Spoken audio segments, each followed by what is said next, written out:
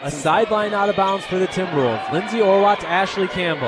Inbounds, 12 seconds on the clock to Lindsey Orwat, left corner. She's double teamed, passes out of it. Now to Delaney Kenny. To Seeley, open on the right wing. Three pointer, she hit it!